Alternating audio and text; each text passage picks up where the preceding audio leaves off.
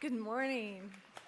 Good morning and welcome. Let us stand together and praise the Lord, singing, Be Thou My Vision.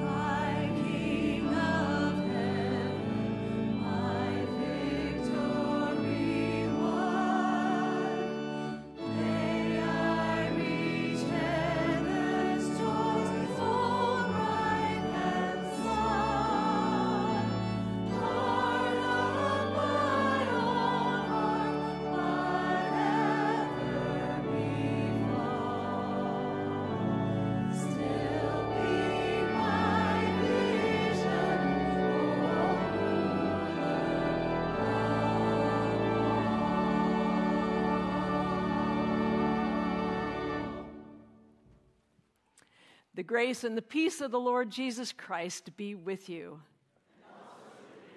Welcome you here this morning to the house of God and to worship. Those of you who are joining with us via the live stream, we, we welcome you. And those of you who are here in the sanctuary, welcome you on this First day of fall. There you go. Yay. We've been waiting for this. It's sweater weather coming, but I hear it's not. Actually, it's going to be a beautiful week. So there you go. Well, this morning, not one of us is here by chance or coincidence. The Spirit of God has drawn you to this place. And so we've gathered for worship and we've gathered for fellowship. And so I invite you at this time to extend to those around you the hospitality and the greeting of Jesus Christ. Let us do that.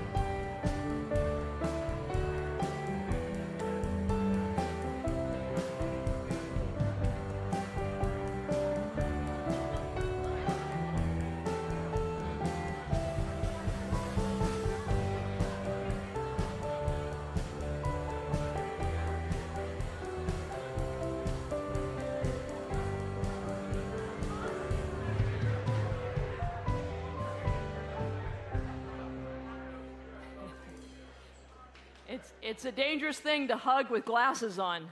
I got a nice big smudge here in the middle of my glasses. I can kind of, it's like looking through a smudgy window right there. Anyway, this morning I, I want to take a moment to especially welcome uh, new members who were uh, welcomed into the fellowship uh, last Sunday, and some of them are here in the sanctuary, but you'll notice that their pictures are included in the uh, insert this morning. I apologize, Judd. Uh, his, his name uh, is Imhoff. So, Judd, welcome this morning. There he is back there. Welcome, Judd. We're so, so glad to welcome you.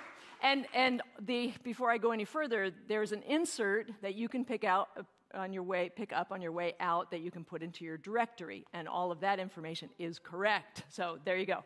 I'd like to. Uh, John Anderson is John here this morning? Uh, John, you can see, well, look, you see what John looks like. And then we want to welcome Becky Bruffy and Justin Welsh. You can go, go ahead and stand up. We're, congratulations there. They are actually going to be married. Uh, Steve's going to officiate their wedding here in February, on February 14th. So, uh, woo, there we go. So, congratulations to you guys. Welcome. And then uh, Doreen O'Leary is here this morning. Welcome you, Doreen. Are, Doreen, are you any relationship to the O'Learys of Chicago? No. I had to ask. I had to ask because that it was going through my head um, the other day. All right. Well, you can also see what neighborhoods they're they're in. Uh, so that just helps you to know uh, where you are at. Uh, those of you who are new members, you have a deacon that is responsible for that neighborhood, and they will be introducing themselves to you, so you will know who your deacon is. Um, and you will know what neighborhood you're in. That's probably very obvious to you what neighborhood you're in, but not to the rest of us. So there you go. Uh, let's see. The flowers this morning are, look at this. Oh my gosh, aren't they beautiful too? The flowers this morning are given by Dick and Carol Maxwell in celebration of 65 years of marriage. Woo!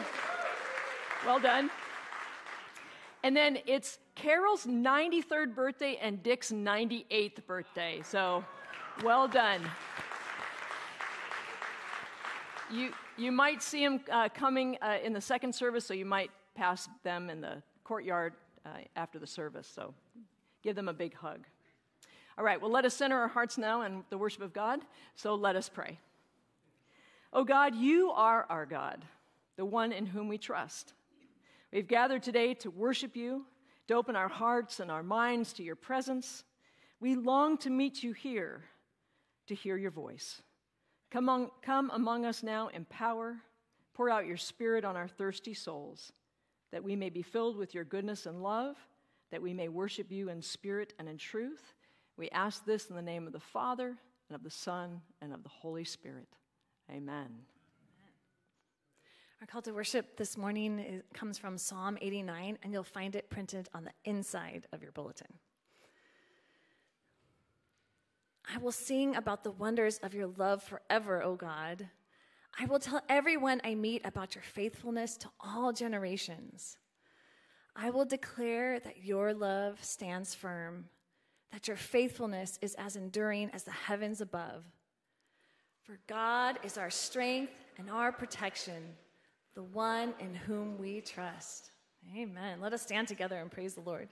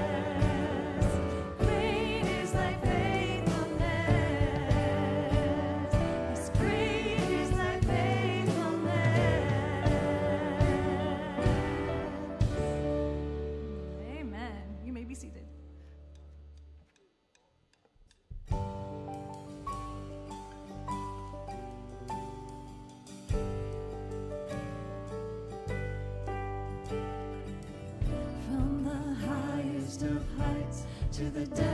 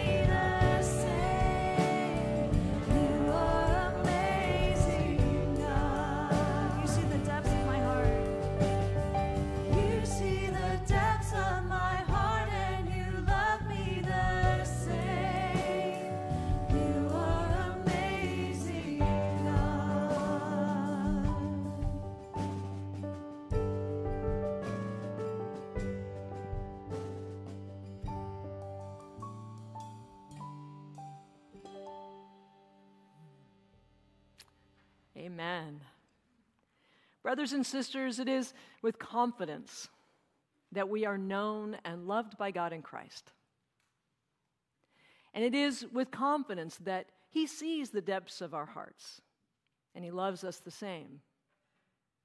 And so we come this morning with boldness and that confidence before the throne of grace. And we offer to God our prayer of confession. So let us pray incomparable, unchanging God. You see us, you know us, you love us completely. We are awestruck, and we have just sung, You are amazing, God. Oh God, out of the flames of your creation, your voice calls to us, calls to us by name marking us as your own. And yet we confess that it is oftentimes easy or easier to ignore your voice or to second guess what it is that you are calling us to do and to be. Sometimes we listen instead to our fears and our failures. And those fears and failures serve only to challenge our faith and our trust in you. Sometimes we hear you and therefore we stubbornly ignore your calling. We don't walk in your way and we don't love as you love. Oh God, forgive us for those times, for you know them. Those times when we have ignored the needs of others for convenience, when we have failed to place our feet upon your path because it was too hard, when we have allowed those inner voices to undermine and distract us from your call. And so hear us now as we come before you in this silence and ask that you would refine our hearts with the holy fire of your love.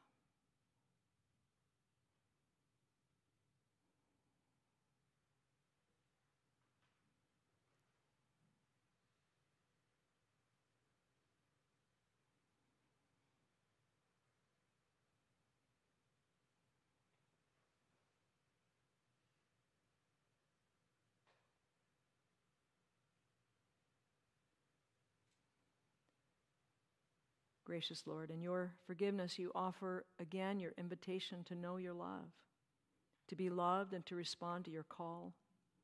And the blazing fire of your Spirit refines us and makes us ready and willing for now on to serve you.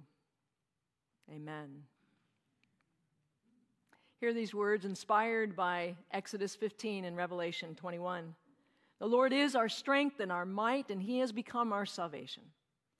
The Lord our God is awesome, the King over all the earth, the everlasting God, the King of kings, the Lord of lords. And we celebrate good news that in Jesus Christ we are forgiven. Thanks be to God. Amen.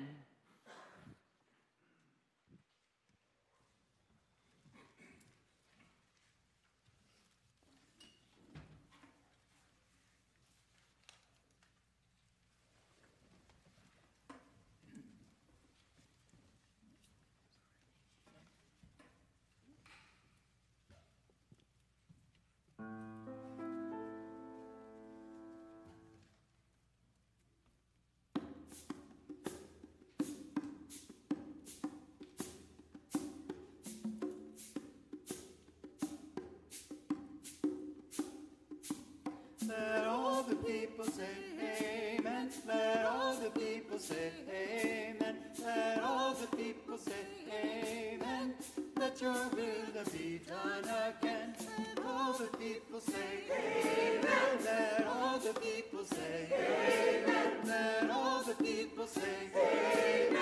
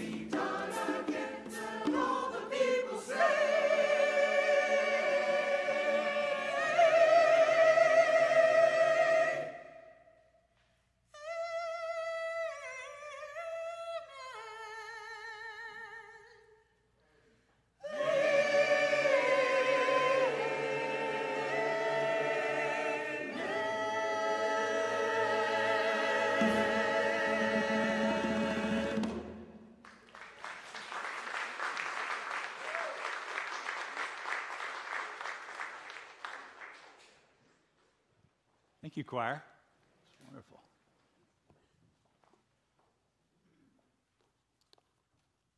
Are you in need of hope this morning?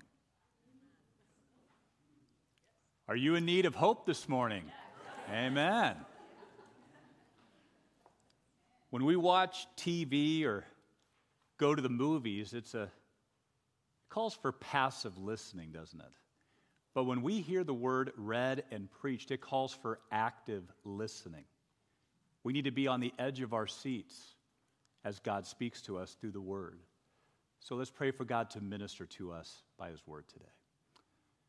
Gracious God, our Father, we are in need of hope this morning, the joyful expectation that you will be faithful to all of your promises to us. And so we pray that by your word you would enable us to receive your word by faith, that we would love you more deeply, that we would follow you more closely. And Lord, we would depend upon you for all things. We ask this in Christ's name. Amen. Exodus chapter 4. I'll be reading from verse 1 through 17, and then I'll skip over to verse 27 to 31. Hear now God's word. Then Moses answered the Lord. But suppose they do not believe me or listen to me, but say, The Lord did not appear to you. The Lord said to Moses, What is that in your hand? He said, A staff. And he said, Throw it on the ground. So Moses threw the staff on the ground, and it became a snake. And Moses drew back from it. Then the Lord said to Moses, Reach out your hand and seize it by the tail. So he reached out his hand and grasped it, and it became a staff in his hand, so that they may believe that the Lord, the God of your ancestors, the God of Abraham, the God of Isaac, and the God of Jacob, has appeared to you. Again, the Lord said to Moses, Put your hand inside your cloak. So he put his hand into his cloak, and when he took it out, his hand was leprous, as white as snow. Then God said, Put your hand back into your cloak. So he put his hand back into his cloak, and when he took it out, it was restored like the rest of his body. If they will not believe you or heed the first sign, they may believe the second sign. If they do not believe even the two signs or heed you, you shall take some water from the Nile and pour it on the dry ground, and the water that you shall take from the Nile will become blood on the dry ground. But Moses said to the Lord, Oh, my Lord, I have never been eloquent, never in the past, nor even now that you have spoken to your servant, but I am slow of speech and slow of tongue. Then the Lord said to him, who gives speech to mortals? Who makes them mute or deaf, seeing or blind? Is it not I, the Lord? Now go, and I will be with your mouth and teach you what you are to speak. But Moses said, Oh, my Lord, please send someone else. Then the anger of the Lord was kindled against Moses, and he said, What of your brother Aaron the Levite? I know that he can speak fluently. Even now, he's coming out to meet you, and when he sees you, his heart will be glad. You shall speak to him and put the words in his mouth, and I will be with your mouth and with his mouth, and will teach you what you shall do. He indeed shall speak for you to the people. He shall serve as a mouth for you, and you shall serve as God for him. Take in your hand this staff with which you shall perform the signs to verse 27. The Lord said to Aaron, Go into the wilderness to meet Moses. So he went, and he met him at the mountain of God and kissed him. Moses told Aaron all the words of the Lord with which he had sent him, and all the signs with which he had charged him. Then Moses and Aaron went and assembled all the elders of the Israelites. Aaron spoke all the words that the Lord had spoken to Moses and performed the signs in the sight of the people. The people believed. And when they heard that the Lord had given heed to the Israelites and that he had seen their misery, they bowed down and worshiped. This is the word of the Lord. Thanks be to God. Amen. We are picking up the story right in the middle of a conversation between God and Moses. Let me say that one more time. We are picking up the story right in the middle of a conversation between God and Moses. Can you even imagine having a conversation with God? Listening and speaking with the creator of the universe, the one who made us from nothing, who breathed life into us, sustains us day by day, who gave us not only physical life, but more importantly, our spiritual life through Jesus Christ our Lord. Now, before you dismiss this as something unique only to a chosen few like Abraham, Isaac, Jacob, and now Moses, it's not as far off as you might think. Right here, right now, we are in the middle of a conversation with God, listening and speaking. It started when we walked into the sanctuary this morning or clicked on the live stream. God began to draw us in, to prepare us through seeing and, and greeting and meeting our brothers and sisters in Christ. We noticed when we walked in here this morning, we are not alone in this journey of faith. Amen? Amen. Amen. And our hearts were awakened as we looked around this beautiful sanctuary. We listened to the beautiful prelude music, and, and the Spirit all the while was awakening us to the reality of God.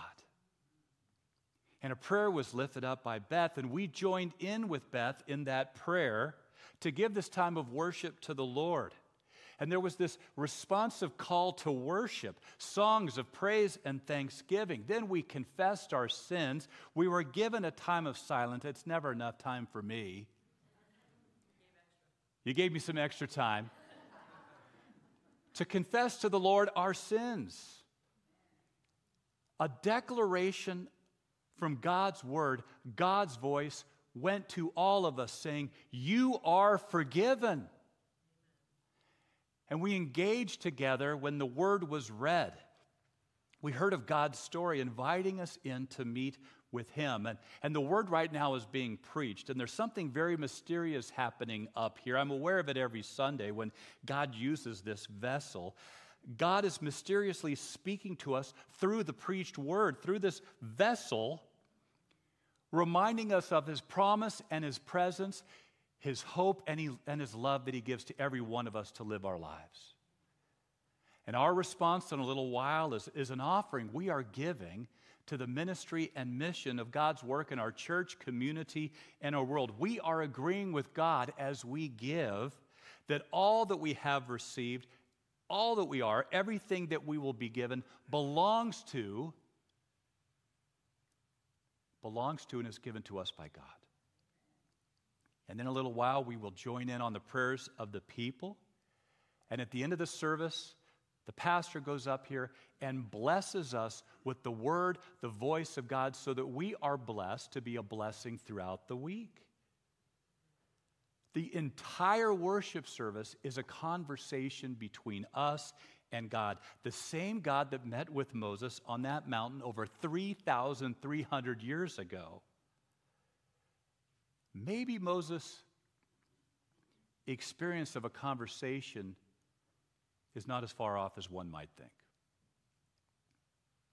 And speaking of Moses' experience, we too were drawn initially into the presence of God, just as Moses was on Mount Horeb. Now, you may not have come to the Lord for the first time on the actual Mount Horeb with a miraculous burning bush that was not consumed, an angel telling you, Hold on a minute, hold on a minute, better take off those sandals because you are on holy ground.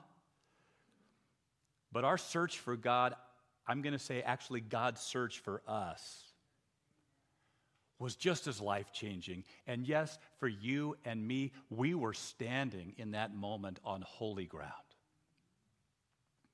Think for a moment of all the contingencies, the thousands of secondary cause and effects that God mysteriously has worked in Moses' story to draw him to that mountain to meet with him on that specific day.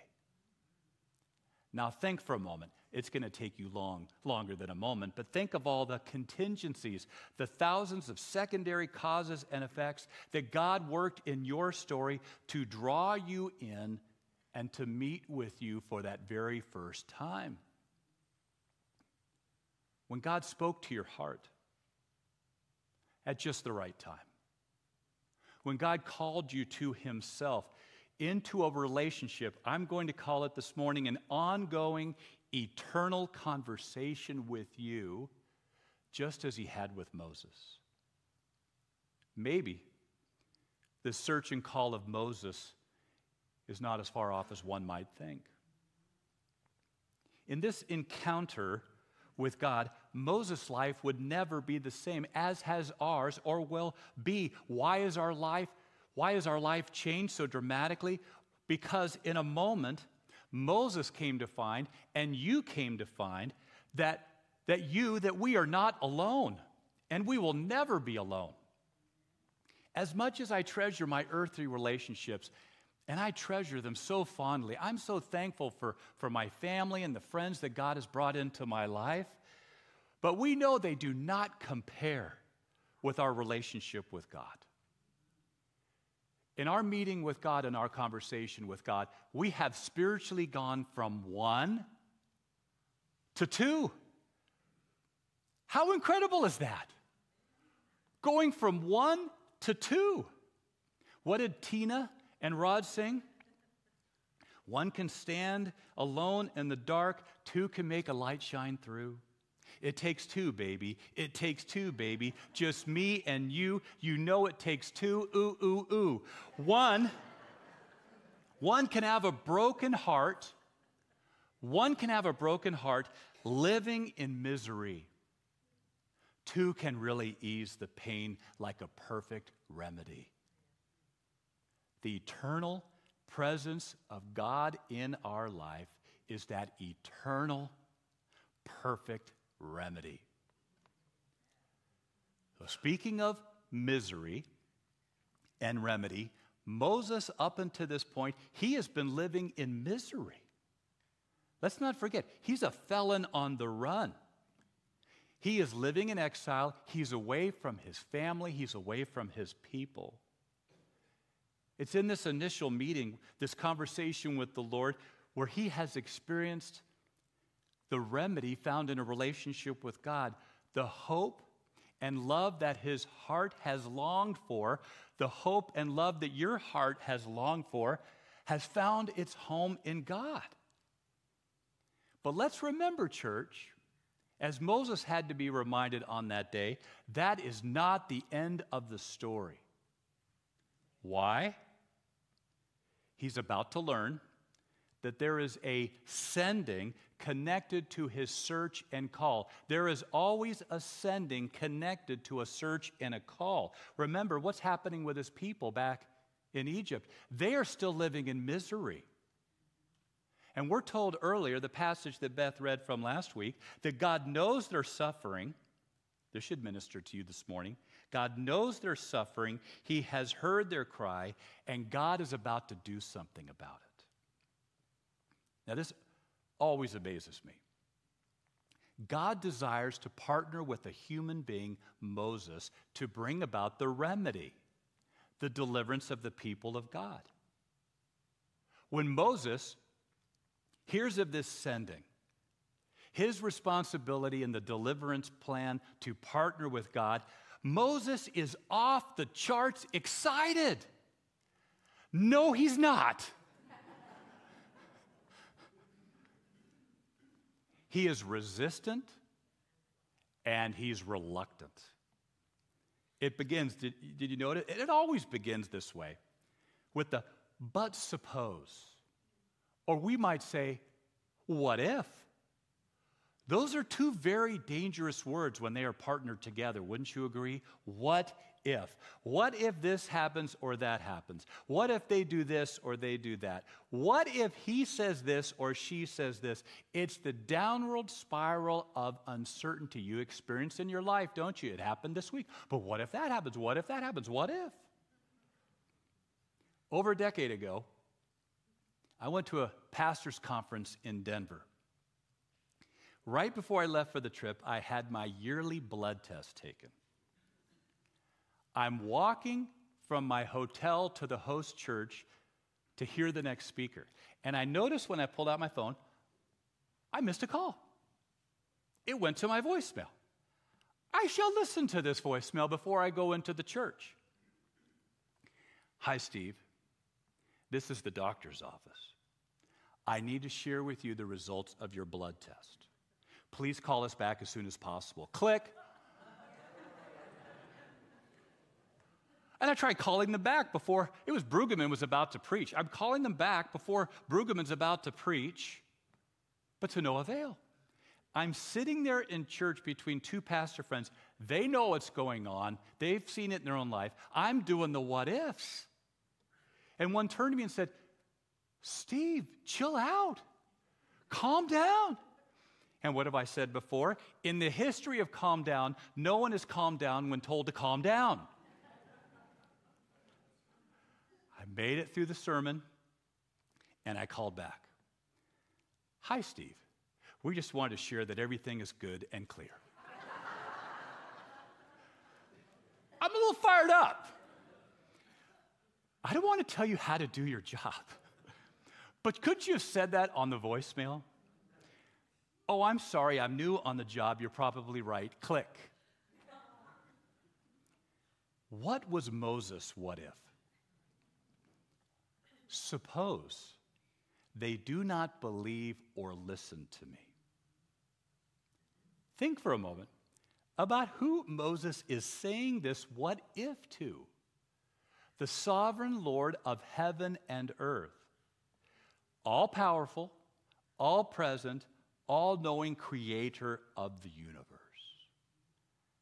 I asked myself during the week, what's really at the center of this uncertainty in Moses?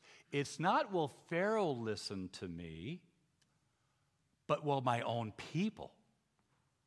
Will the Israelites believe and listen to me? Will they accept my leadership? Is this not the fear of failure? A fear that can paralyze a person from moving forward in faith and in life, a fear that only has its remedy in the presence and the promise of God. What more could we ask for than that? Moses is learning. He's not alone in this.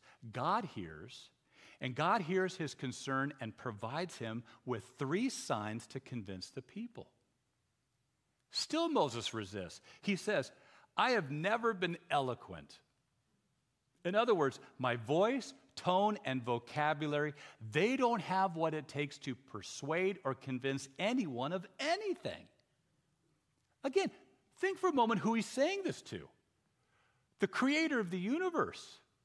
The one who provided Moses with his mouth, his tongue, his vocal cords, and his brain power. And it's still not enough. And Moses finally says what he's been wanting to say all along. Here it comes. Please send someone else. Please. Is God upset? It says God got angry. You bet the Lord's upset. God loves Moses. He knows his potential, what he's capable of, and God knows how he's going to provide for Moses. He's telling him, You can be assured of your success because I'm going to be with you. Not that it's not going to have its challenges, yet, in the mysteriousness of this conversation, as God does also with us, God knows it takes two. He provides Moses with Aaron which makes all the difference in the world. And in God's love and grace, did you notice Aaron was already on the way? Even before the conversation started, or Moses was trying to convince God of something, God was already answering the prayer before it was lifted up. This is the way love is. And when the Israelites hear that the God of Abraham, Isaac, and Jacob had listened to their cry, saw their misery, when they witnessed the signs and wonders God gave to Moses, that Moses gave through Aaron, and when Aaron shared all the words spoken by God to Moses, the people responded with belief and worship. A sign of hope has arrived, and they worship God. It's the end goal of what every sending is leading to worship of the people of God. This sending stands at our threshold this morning as a church. Just like Moses, we have been called by God to join with him in being messengers of the hope and love of God in a world that needs God more now than ever. Starting today, right now when you leave this sanctuary, there will be countless opportunities to share this hope and love of God in our encounters with every person we come in contact with. When you stand up when this, when this service is over, you have the opportunity to turn to someone before you leave and give them some encouragement, some love. There will be the visitor in the courtyard that is hoping that someone will speak with them. There's the checker at the grocery store who's hours into their job and they're just going through the motions, and you have the opportunity to say, Thank you so much for how you serve our community. Well, I'll give you an extra coupon for that. There's the server at the restaurant, the friend at the gym, a group of people on that committee you're going to be on this week, a coworker, a fellow student, a teammate, the friend who needs an encouraging text or call this week, a family member who you know is in need of some of your time today, and it could be your next door neighbor or the people you greet along the way on your walk this afternoon. Those people who have the opportunity to see in you the hope and love of God, which becomes contagious. And we may be reluctant at times. Let's admit it. There may be some people we'd rather have God send someone else. But remember, it takes two. God is with you. And remember, God has put some Aarons into our lives to help us out along the way. Speaking of Aaron, my son Aaron was on his way home from working the ranch in Idaho on Tuesday. He stopped in Nevada to take my dad, his grandpa, out for dinner. How cool is that? Is that loving? That's loving. And you may wonder, Steve, did you name your son after the Aaron in Exodus? Not so much. As there was an Aaron I knew in high school his locker was right next to mine, and every now and then he would share something about God with this guy who he caught on was searching for meaning in life. And Aaron is one of the reasons why I'm standing up here today. What did Paul, the Apostle Paul, write? How are they to call on the one in whom they have not believed? And how are they to believe in the one in whom they have never heard? And how are they to hear without someone to proclaim him? And how are they to proclaim unless they have been sent? As it is written, how beautiful are the feet of those who bring good news. Let's keep our eyes open this week to whom God may send us to, that we might be a sign of hope. Gracious God, our Father, we thank you for the hope you've given to us in Christ Jesus our Lord. May your hope fill us. May your love fill us now, that it will overflow from our lives this week into the lives of others. Help us to be a sign of hope through Christ. We ask this in his name. Amen. I'd like to invite the usher to come forward now as we give to the ministry and mission of Laguna Presbyterian Church.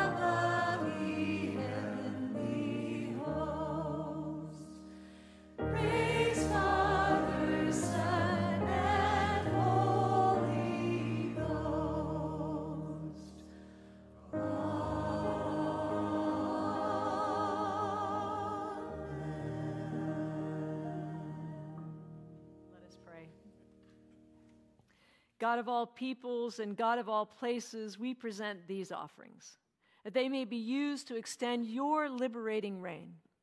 And with them, we offer our varied ministries, the gifting of this congregation, so that each of us may answer your call and be a part of what you are doing to answer the world's need.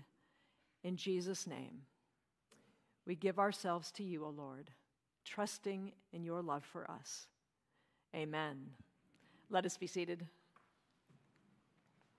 We continue this morning with the prayers of the people, so let us pray.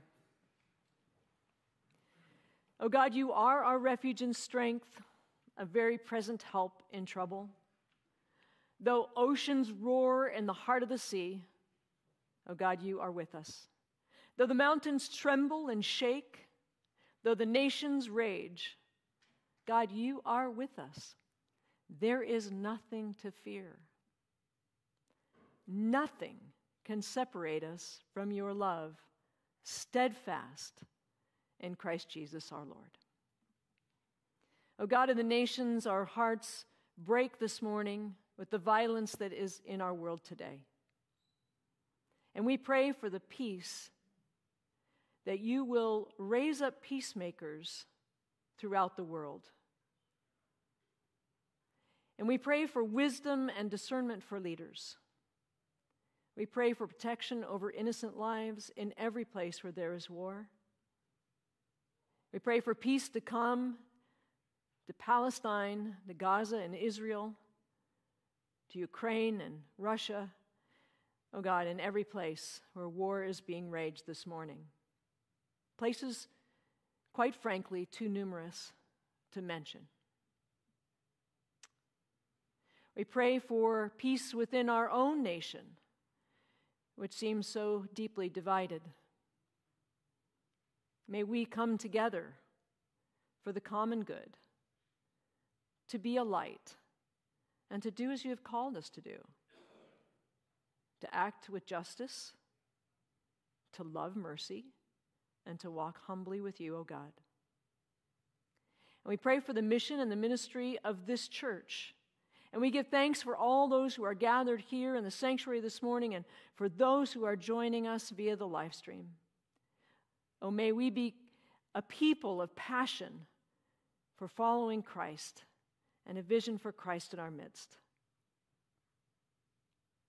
We pray for your comfort for those who are grieving. We pray for your healing for those who are ill or injured. And we pray for your protection for the vulnerable and those undergoing all forms of adversity. Fill them with renewed hope and faith in you. As you have opened our ears to hear your word this morning, our lips to sing your praise, so open our hearts to respond to the needs of those around us so that your healing waters of hope and love would flow through our lives into the lives of others, that your kingdom might come and your will would be done.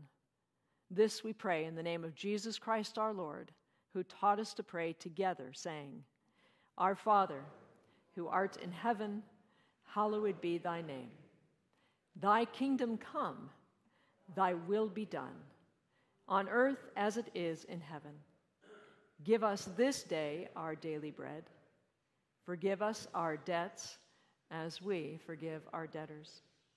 And lead us not into temptation, but deliver us from evil. For thine is the kingdom and the power and the glory forever. Amen. Maggie Craig has announcements for us this morning, as she's coming, just an announcement that you won't find printed in the in the in your handout this morning, and that is that the Heritage Foundation has a, a cart outside. Uh, Jack Bell will be there if you'd like to learn about the Heritage Foundation, and that is those folks as a part of this congregation who have left a, a legacy as a part of uh, their contribution for the ongoing mission of this church. So if you have questions about the Heritage Foundation, you're going to be hearing more about it. Jack is out in the church on the church patio. So, Maggie. Good morning, everyone. Happy fall, best season of the year. Okay, we have all our regular things going on this Sunday donuts, and Alice will be over here on the side for prayer. Um, all the regular stuff going on this week featured in your bulletin, but I just want to highlight a couple of things. I think Crystal is still letting people in to learn how to ring bells next Saturday, so get a hold of her if you want to. Next Sunday, there's Estate Planning 101 in the Forest Room at noon. We all need that. And then Love Laguna Beach is two weeks from yesterday. It is Saturday the 5th, and everybody needs your help on a project. As you know, our Gail is kind of running that program, so the website is there to sign up, which you really do need to do in advance. Um, the grief group starts on October 7th and runs for a few weeks in the bride's room on Mondays. We have a blood drive coming up, and that is October 16th. And then, of course, I'm going to pitch Family Fun Night because it is the chili cook off on October 19th. So we, we need chili, cornbread, and come win all kinds of money in our fabulous bingo and greet all the wonderful new families we have. Um, and if you haven't bought the book yet, for the book talk November 12th, it sounds like a really good one Close to Death by Anthony Horowitz. Go ahead and buy it. All right, thanks. Thank you, Maggie. Let us stand for the blessing.